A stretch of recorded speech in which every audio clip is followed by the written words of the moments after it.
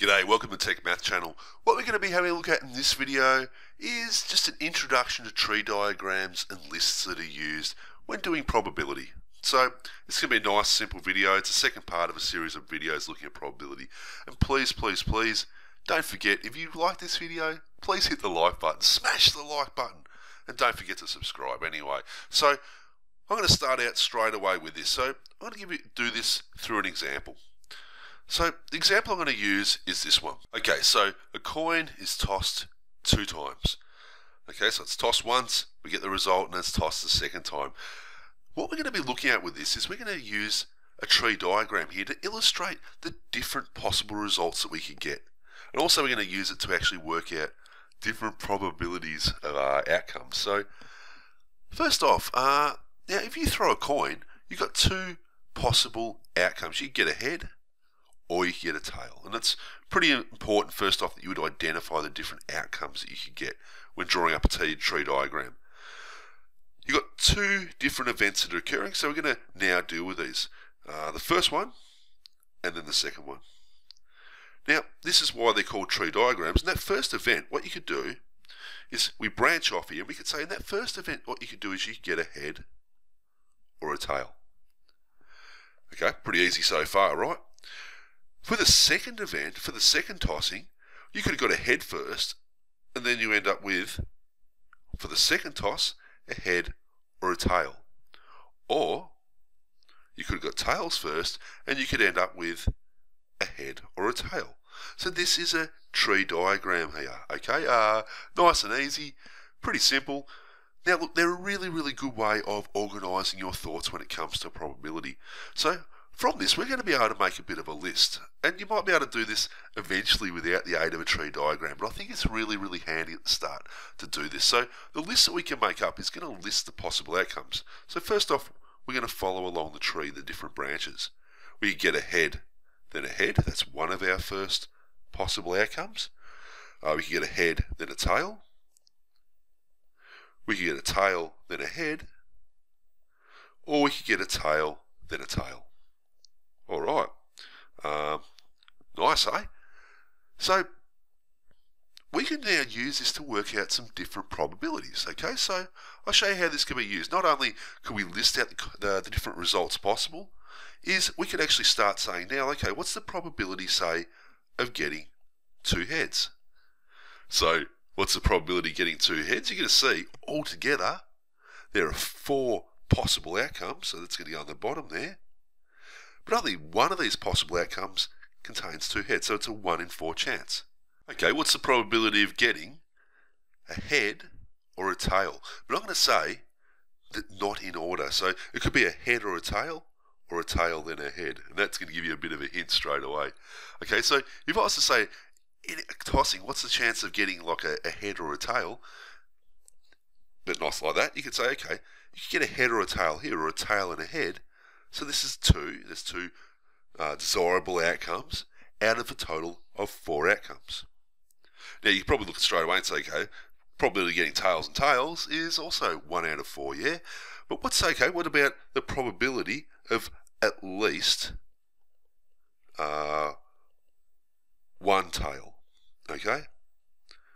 Now you could look at this and say, this is equal to, now how many of these have got at least one tail? This has at least one tail. This has at least one tail. This has at least one tail. So our probability is 3 out of 4. Okay, these are really, really simple, right? So hopefully uh, you picked it up pretty quickly. I'll tell you what, I'm going to give you an example to do on this. Okay, so what I'm going to get you to do is answer this one. A family has three children, boys or girls. What's the probability of getting three boys? What's the probability of getting two girls and a boy, but not necessarily that in order? and what's the probability of getting at least one boy. So first off, what you should do is use a tree diagram to set this up and list out your combinations and then we'll answer these questions. So give it a go. Okay, so let's have a look at this. The first thing you could do is you could say for the very first, we could end up with a boy. Okay, that's the very, very first uh, child that's born. For the second child that's born, you can end up with a boy or a girl, or a boy or a girl. For the third child, you can end up with a boy or a girl, a boy or a girl, a boy or a girl, or a boy or a girl. So that's your tree diagram all set up. Let's list out the prob- the possibilities. So you could get a boy, boy, boy. You could get a boy, boy, girl. You could get a boy, girl, boy. You could get a boy, girl, girl. You could get a girl, boy, boy. You could get a girl, boy, girl. You get a girl, girl, boy. Or you get a girl, girl, girl. All right, let's work out our different possibilities, our different probabilities here. So maybe you could uh, see how you go with these if you, have got up to this stage. The probability of getting three boys. Now you can see here there's one, two, three, four, five, six, seven, eight possible outcomes altogether. That's a terrible, terrible eight. I'm going to redraw that. So the probability of getting three boys, there's only one particular uh, scenario where this occurs. So there's one chance out of a possible eight overall outcomes. What about the probability getting two girls and one boy? Now, I'm just going to put a little red dot, I reckon, next to this. Two girls and one boy. So, not this one. This has two boys. We're looking for two girls. Okay, this one has two girls and one boy. This one has two girls and one boy. This one has two girls and one boy. So we have one, two, three out of eight uh, possibilities. Okay, what's the probability of getting at least one boy? So you're going to notice all these ones here all have at least one boy, except this particular one here. So we have one, two, three, four, five, six, seven chances out of eight of getting at least one boy. Because there's only one of these where you don't get one boy, that's where you get three girls. So how'd you go with that? I'll tell you what, we'll give you one more question here. Okay, for our last example, three cards labelled 3, 4 and 5 are placed next to each other randomly after being drawn out of a hat. So you're going to use uh, a probability tree to illustrate the different results possible, and then we're going to use this to work out the probability that the number made, the three-digit number made is even, or that the three-digit number made is less than 500. So let's go and work out a uh, tree diagram. So the first thing you notice is that we have possibly three different cards that we can draw for the very first number. So we're going to reflect this in our tree diagram. We've got three branches coming out, that is. Okay, so the first card drawn could be a 3, a 4, or a 5. So if you were to draw a 3 first, the next card could be a 4 or a 5. If you were to draw a 4 first, the next card would be a 3 or a 5. If you were to draw a 5 first, the next card could be a 3 or a 4. So for the last card drawn, if you draw a 3 then a 4, you're going to have to get a 5. If you get a 3 then a 5, you're going to have to get the 4 last. 4 3 is going to give you a 5. 4 5 is going to give you a 3. 5 3 is going to give you a 4. And 5 4 is going to give you a 3. So we can list out all the potential results now. We can get a 3 4 5.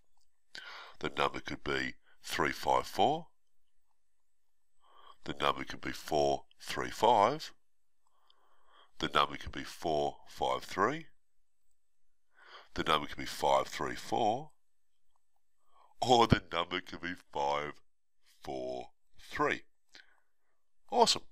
So, let's go now and work out our uh, different probabilities. Now, the probability of getting an even here. You're going to see how many even numbers. Well, all up we have six possible outcomes for our numbers, and one, two of them are even.